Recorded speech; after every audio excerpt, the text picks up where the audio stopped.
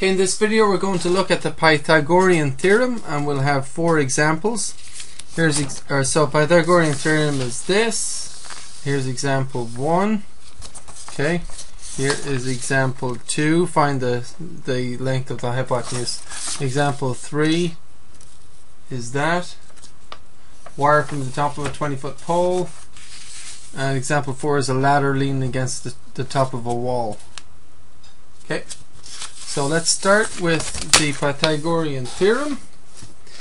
And if a triangle has a right angle, then C equals the square root of A squared plus B squared. Where C is the length, the length of um, this side of a right angle triangle. Now, a right angle triangle is a triangle with a perfect corner.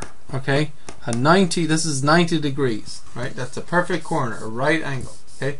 It's like your your floor up against your wall okay? Perfect corner. Or the corner of your page right? A right angle. Corner of your page is a right angle isn't it? Okay? Okay so C is the um, length of this side. B is the length of one of the sides and A is the length of the other side so basically, the and C would be the longest side, wouldn't it? Or it's always the side opposite the right angle.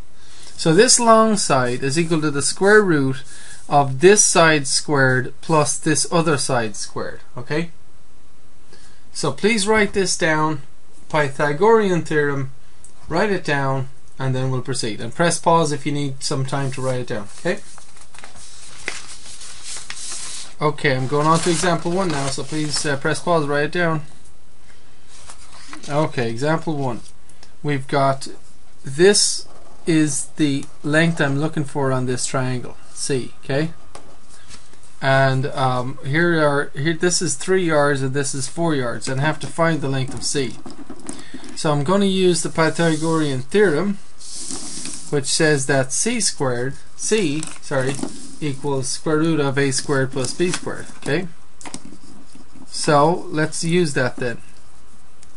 If I want to find this unknown length, okay, I'll write c equals so I mean and the, the the whole point is like this works for any shape of triangle as long as it has a right angle this formula works but you just have to make sure the triangle has a right angle and then the formula will work so C equals the square root of a squared plus b squared. So we can so one of the side lengths, say 4 squared plus the other side length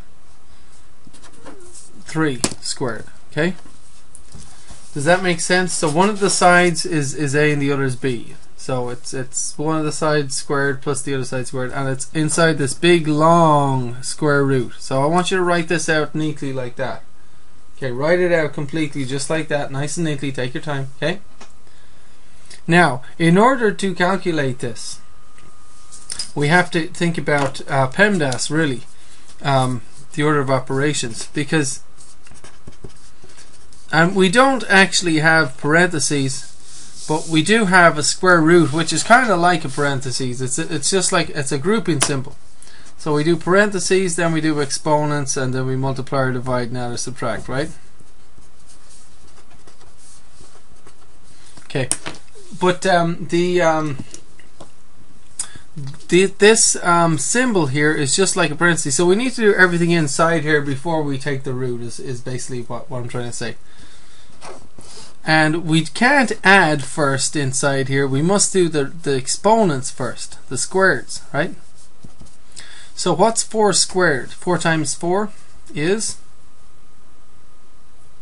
16, right? What's 3 squared? 9. Okay, we're getting somewhere now. Now we need to add 16 and 9. What does that give you? 25. Okay, so now we have, you know, C equals that, C equals that. So now we have C equals. What's the square root of 25? Is 5, right? And if these sides are measured in yards, surely this side has to be measured in yards as well. So it's 5 yards YD. Does that make sense? Okay.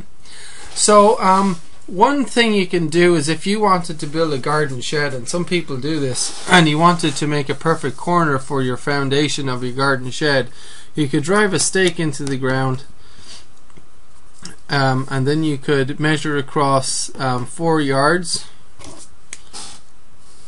with, with uh, twine or something.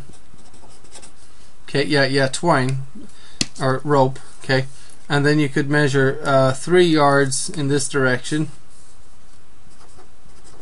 Okay, and then carefully, kind of, you know, don't don't drive. Uh, you would you would say drive drive this one in, but kind of move this one around until you manage to get your twine in this direction exactly five yards. So you've driven this stake into the ground and you might say drive this one into the ground and you just kind of move this one around so that you this is definitely three this is this is exactly three yards this is exactly four yards this is exactly five yards and if you achieve that then this will be a perfect corner here for your foundation for the garden shed or whatever you're building. So anyway, that's just an application of the Pythagorean theorem. Is that when you have one of the um, fa most famous right angle triangle is the three, four, five uh, triangle, right? Because it has a perfect corner. Okay. Okay, let's go on to example two. We've got um, this triangle and we have and it has a right angle like that. And it's 24 inches in this direction and 10 inches in that direction and we want to figure out the length of C. And you know what? Just for fun go ahead and press pause and see if you can figure it out. Um, here's the Pythagorean theorem. Go ahead and plug in the number see if you can get it. And it's a good thing to try because if you make a mistake then you can just watch the video and catch your mistake right Okay, so I hope you've pressed pause and, and at least tried it. I'm going to go through it now.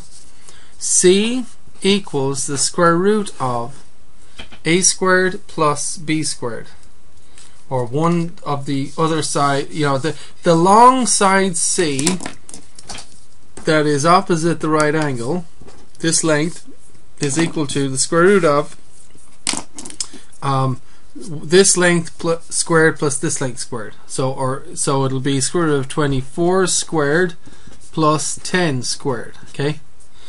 And just so you know, you could have written that um, if you wanted to. You could have written that root of 10 squared plus 24 squared. That doesn't matter. It'll work out the same in the end, right? Anyway, so we have c equals square root of now. In, we have to calculate the inside before we can actually calculate the root, right? And on the inside, we have an addition, but we have squareds. So what do you do first? Do you do exponents or do you add? Remember PEMDAS. What does PEMDAS say? Exponents first or add first?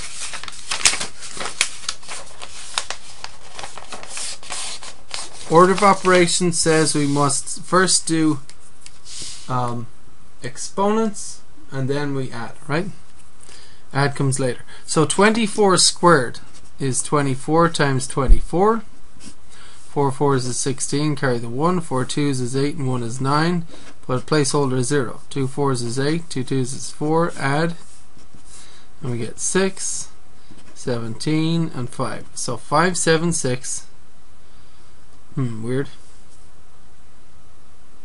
Am I right there? 4 4 16, carry the 1. So 8. Yeah. So 5, 7, 6, and 10 squared is 100. Oh my goodness. So C equals the square root of 676. And, um, yeah, sorry, that's a tough one to figure out. Uh, I'll just, I'll just uh, give you that. That's actually, um, that's actually, you could guess it might be 25 or 26 or 27. You might guess it's a little bit more than 24 and it's actually 26 times 26 gives that see 6 sixes is uh, 36 carry the 3 2 sixes is 12 and uh, 3 is 15 uh, placeholder 0 2 6 is 12 carry the 1 2 twos is 4, 1 is 5. So 6, 7, 6, 7, 6. Okay, so this is actually, the square root of 676 is actually 26. Okay? Anyway, that, I don't think you have any that bad in the in the text in the homework. Anyway, hope not. Okay, um, so that's the answer, and it's inches, right? Because if these sides are measured in inches, this has to be inches too, right? okay, on to example three. A wire from the top of a 20 foot pole is fastened to the ground by a stake that is 15 feet from the bottom of the pole. How long is the wire? What does that mean? Okay, let's draw a 20 foot pole. 20 foot pole. Okay? A wire is fastened to the ground by a stake that is 15 feet from the bottom of the pole. This is the bottom of the pole and it means 15 feet horizontally. That's what it means. It means 15 feet over here in this direction. Okay? And then the wire is comes straight down like that making a triangle. So this is the wire right? So the pole is this thing. The this is the distance from the bottom. And the wire is this line here okay? And that goes from here to here okay? So we know the pole this is 20 feet this is 15 feet the question is, what is this length here? We'll call that C. How about that? Because if the pole is is straight up and down, well, it it should be exactly straight up and down. Then you have a right angle, don't you? With the, and this is the ground, right? Okay. So now we have a um, problem we can solve using the Pythagorean theorem. If you have a right angle triangle then the long side's length C is equal to long side uh, is equal to square root of the of, of one side squared plus the other side squared, right? So we'll write down the formula. C equals the square root of a squared plus b squared. So C equals the square root of and now plug in the other two numbers, right? So can you press pause and figure this one out? Try that. Press pause and figure it out. Okay, I'm going to do it slowly now. So we got 20, one side squared, plus the other side 15 squared, okay?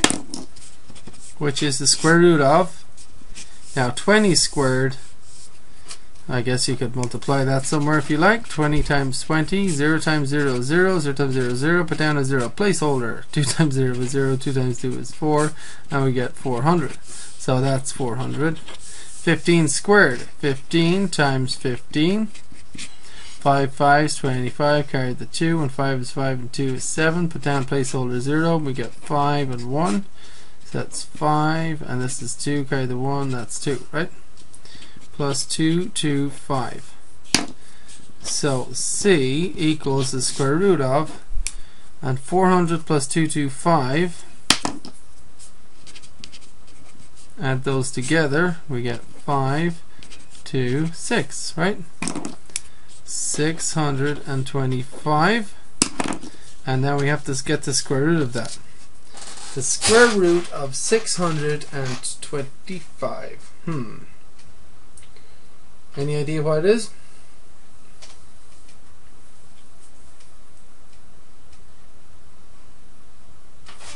Well, it's going to be more than 20. Okay. And um, so is it basically is it 21 times 21? If it was, well, 1 times 1 would be 1. 22 times 22, well, 2 times 2 is 4, so it can't be that. 23 times 23, well 3 times 3 is 9, so you know, that can't be that. 24 times 24, 4 times 4 is 16, so it can't be that. How about 25 times 25? 5 5's 25, carry the 2, oh that might work because look it ends in a 5. Carry the 2, 5 2's is 10 and 2 is 12, put down a placeholder 0, Two fives is 10 and carry the 1. Two twos is 4 and 1 is 5. And that did work. Five, two, six. So the answer is, well, what times itself gives 625?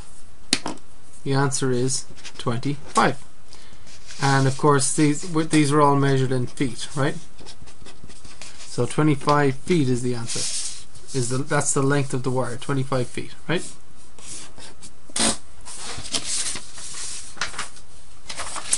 So, um, this one won't be too difficult to figure out with the numbers. Please press pause in the video, do this entire problem yourself, and then check it, okay? so please press pause, do the whole thing, and then check to see how you did, alright? A ladder is leaning against the top of an 8 foot wall.